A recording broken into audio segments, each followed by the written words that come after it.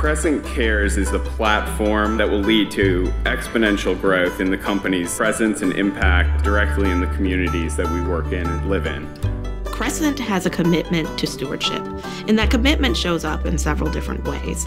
So it's the commitment to, you know, enabling our employees to go out there and support the causes in which we care about and localizing those efforts so we're really impacting the communities in which we live and which we work. And also being able to financially fund those things which we're very passionate about.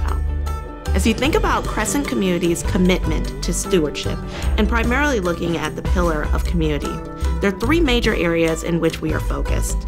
First, being the environment, ensuring that we're protecting the resources in the communities in which we're building. Secondly, it comes from educating the youth and really being able to make a mark on the young minds that will then lead the way in the future. And thirdly, it's shelter we fundamentally believe that everyone should have access to shelter. So these three areas are very key and closely tied into what we believe in as Crescent communities.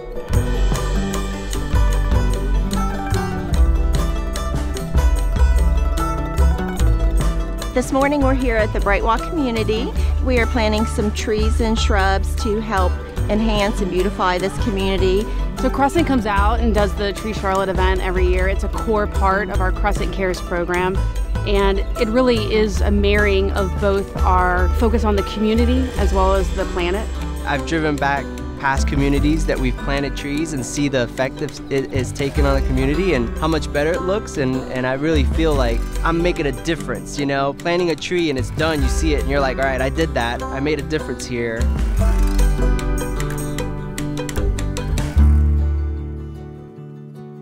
We are so grateful to Crescent Communities for making sandwiches for our soup kitchen today. And what we want you to know is that sandwich has a dual purpose. It obviously is going to feed somebody who's hungry, but even more impactful is the service of the sandwich gives us a connecting place with people. And that connecting place becomes oftentimes the first step in them finding a path out of homelessness and so our sandwich isn't going to change their life, but how we serve the sandwich makes all the difference in whether we create the kind of relationship where they will trust us and help us guide them out of their homelessness.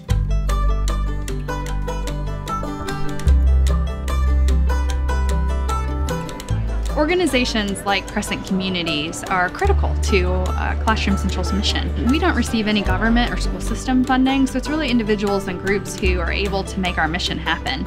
And folks who come in and do school supply drives, collect backpacks, help stuff these backpacks um, so they're prepared for the children, they're what keeps this mission running and keeps it afloat and ensures that we're able to get school supplies in the hands of students in poverty in the Charlotte region it's really gratifying and, and heartwarming to work for a company like Crescent Communities that really has an interest in community involvement and helping people. And our vision is to build community and better people's lives. And it's it doesn't take much effort to see how a place like Classroom Central fits in with that. Education is such an important part of community there is no community without education, and uh, it all starts with kids. So to have involvement with an organization like this, it feels really good, and I'm glad that Crescent Communities takes that seriously.